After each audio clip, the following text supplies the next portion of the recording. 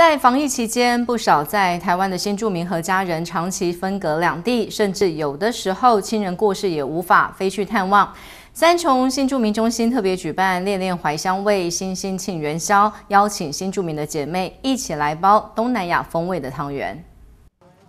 这桌上的汤圆看起来颜色很特别，原来紫色是紫地瓜，浅绿色则是香兰叶。三重新住民中心邀请姐妹们一起来包汤圆，希望稍微疏解他们的思乡之愁。我们从去年到现在啊，因为疫情的关系哈，我们很多姐妹她们都没有办法回自己的母国，没有办法回自己的家乡。然后这个疫情到什么时候也不知道。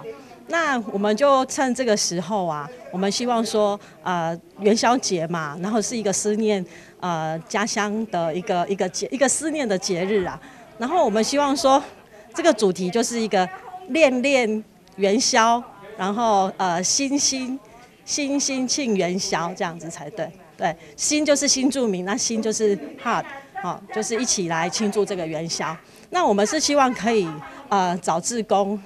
我们的新住民志工一起，台湾的跟新住民的志工一起来包这个汤圆。来自各国新住民姐妹这天纷纷穿上了自己国家的传统服装，以盛装出席的心情参与这一场活动，也感谢中心对他们的关怀和付出。呃，今天办这个活动，觉得是一个很温馨、很温馨，就是因为我们和姐妹就是来台湾之后。那有很多就是来台湾，然后尤其是新来的，那他很想念家，因为之前就回家就回家就很方便，可是现在的话回家真的是没办法，所以办这个活动，觉得说让我们姐妹一个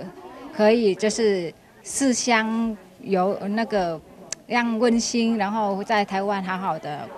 就是努力过的，就是现在的兵行过去，然后我们还有机会继续。回到家看家里这样子，包好的汤圆煮熟之后，再搭配椰奶以及姜糖水，有别于台湾传统的吃法。姐妹们欢心的和自己的成品拍照，在一起品尝着家乡的味道，遥想远在他方的亲人。记者方建凯、林景瑜三重采访报道。